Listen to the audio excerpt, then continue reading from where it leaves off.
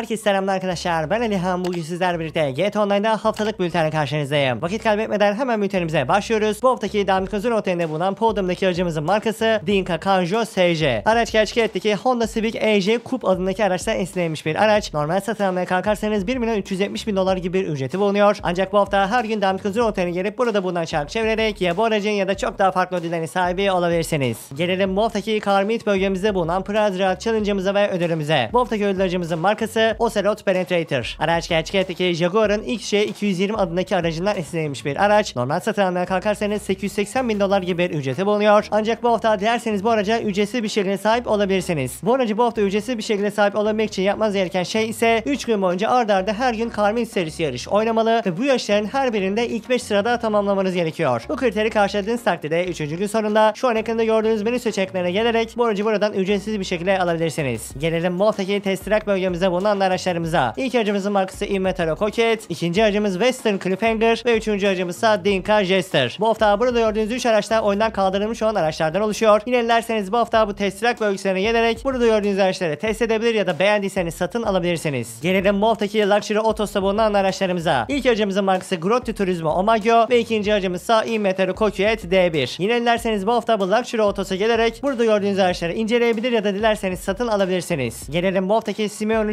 showroom'da bulunan araçlarımıza. İlk aracımızın markası Albany Hermes, ikinci aracımız Benefactor Strider, üçüncü aracımız Annis Savestra, dördüncü aracımız Ubermat SC1 ve beşinci aracımız ise Lampada de Viseris. Bu hafta burada gördüğünüz 5 araçta oyundan kaldırılmış olan araçlardan oluşuyor. Yine dilerseniz bu hafta bu Simeon'un showroom'da gelerek burada gördüğünüz araçlara ücretsiz bir şekilde 5 dakika boyunca deneyebilir ya da beğendiyseniz satın alabilirsiniz. Gelelim bu haftaki oyunumuza bulunan haftalık mücadele görevimize. Bu haftaki haftalık mücadele görevimiz The Doomsday Senaryo adındaki heist'ı tamamlamak. Eğer bu kriteri yerine getirirseniz 100 bin dolarlık bir para ödülü ve de ekstradan Clifford Hoodie adındaki giyim öğesi ödülünün ücretsiz bir şekilde sahibi olmuş olacaksınız. Gelelim haftaki oyunumuza bulunan Sallıcak'taki araç ve soygun görevlerimize. Haftaki ilk aracımız Canis Camacho adındaki araç ve bu aracın içerdiği araç soygunu görevi ise Gangbanger Robbery. İkinci aracımız Vapid Dominator GT. Bu aracın içerdiği araç soygunu görevi ise McTony Robbery. Üçüncü aracımız Benefactor LM87. Bu aracın içerdiği araç soygunu görevi ise Podium Robbery. Yine bu hafta bu Sallıcak işletmesi içerisinde bulunan araç soygunu görevlerini yapmayı daha düşürebilirsiniz. Gelelim bu haftaki oyunumuza bulunan bonuslu görevlerimize. Bu hafta oyunda bulunan Doomsday Heist'ın akt 3 finali olan Doomsday senaryoda iki kat bir bonus bulunuyor. Bildiğiniz üzere Rockstar Games Heist Challenge adı altında bir mücadele başlatmıştı geçtiğimiz hafta ve bu mücadele kapsamında da oyunumuza her hafta çeşitli heist serilerinde bu şekilde bonuslar görüyoruz. İşte bu haftada bu Doomsday Heist'ın akt 3 finaline iki kat bir bonus getirilmiş durumda. Yine dilerseniz bu hafta bonusundan da faydalanarak bu hafta içerisinde bu heist'i oynamayı daha düşürebilirsiniz. Gelelim bu haftaki bir diğer indirimimize. Bu hafta oyunda bulunan Bunker Series, Diamond Series, Missile Base Series ve de Hunting Pack adındaki oyun modlarında iki kat bir bonus bulunuyor. Bu oyun modlarını oyunumuzun duraklama menüsünden online sekmesi üzerinden Jobs, Player Jobs, Rockstar Created ve oradan da Adversary Mod sekmesi üzerinde bulabilirsiniz. Dediğim gibi bu hafta burada gördüğünüz ve sağ üst taraftaki resimlerinde bonus ibaresi gördüğünüz görevler bu haftaki bonuslu görevleri tekabül ediyor. Yine dilerseniz bu hafta bonuslarından da faydalanarak bu oyun modlarına oynamayı daha düşürebilirsiniz. Bunun dışında bu hafta oyunumuza bulunan taksicilik işinde de iki kat bir bonus bulunuyor. Bildiğiniz üzere taksicilik işine de şu an ekranda göstermiş olduğum haritamızdaki simge üzerinden başlayabiliyoruz. İşte bu hafta bu taksicilik işine iki kat bir bonus getirilmiş durumda. Yine dilerseniz bu hafta bonusundan da faydalanarak bu taksicilik görevlerini yapmayı daha düşürebilirsiniz. Gelelim bu haftaki oyunumuza bulunan indirimlere. Bu hafta oyunda bulunan tüm fasiliteler ve bunların yükseltme ve özelleştirmelerinde %40'lık bir indirim bulunuyor. Eğer hali hazırda bir fasilite sahibi değilseniz bu hafta dediğim gibi tüm fasiliteler %40'lık bir indirime girmiş durumda. Yine aynı şekilde bu fasilitelerin tüm yükseltme ve özelleştirmelerine de aynı oranda bir indirim görüyoruz. Yine